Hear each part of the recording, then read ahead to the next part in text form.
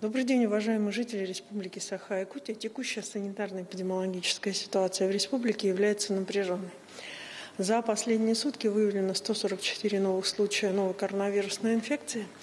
При этом в городе Якутске зафиксирован 81 случай. 8 случаев зарегистрировано в Сунтарском, в Нерюнгринском, прошу прощения, 7 в Сунтарском, 4 в Мирнинском. По 3 случая зарегистрировано в Алайховском, Вилюйском, Ленском, Намском, Усялданском и Венобытантайском улусах. По два случая зарегистрировано в Алданском, Булунском, Верхневилюйском, Верхоянском, Жиганском, Среднеколымском, Татинском, Усьмайском, Хангаласском и Чурапчинском. По одному случаю в Горном Кобейском, Мегино-Гангаласском, Омском, Алюкминском и Тампонском. Уважаемые жители республики, необходимо обратить внимание, что, как и прогнозировалось, окончанием непосредственно лета, с началом отпускного периода, количество заражений на территории распространения вируса оно непосредственно начинает увеличиваться, захватывает все улусы. Я уже обращала внимание на то, что начинает заходить и в отдаленные поселения.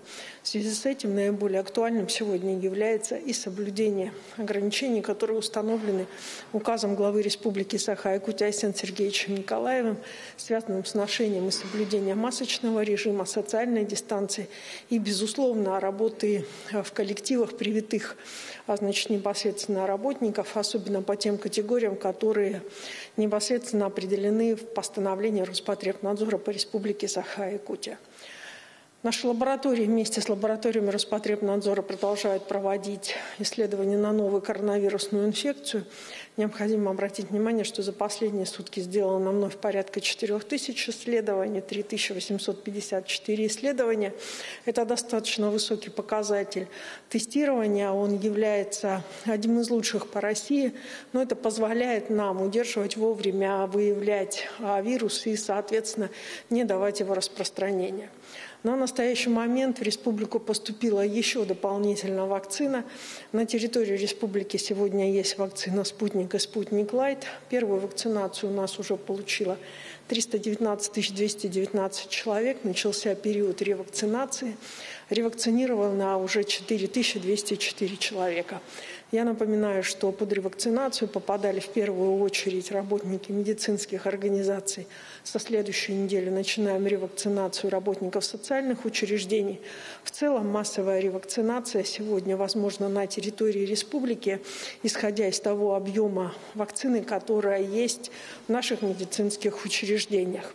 Еще раз обращаю внимание, кто попадает под ревакцинацию – это прежде всего граждане, которые переболели значит, 6 месяцев назад и, соответственно, либо значит, ставили вторую дозу вакцины «Спутник Лайт», также э, спутника около или пивак короны, либо иного другого вида вакцины полгода назад. То есть вот а, такой временной лак, он дается для того, чтобы непосредственно прийти и к процедуре ревакцинации. На территории республики в большом количестве вакцина есть, поэтому она является доступной в любом населенном пункте республики. Приглашаем наши поликлинические значит, звенья на любом уровне.